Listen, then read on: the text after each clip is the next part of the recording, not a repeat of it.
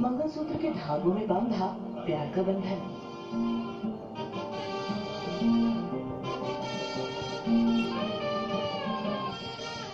पवन देवान जी की शादी के साथ ही हुई सीरियल की हैप्पी एंडिंग सपनों की लहरी पे दिल की बात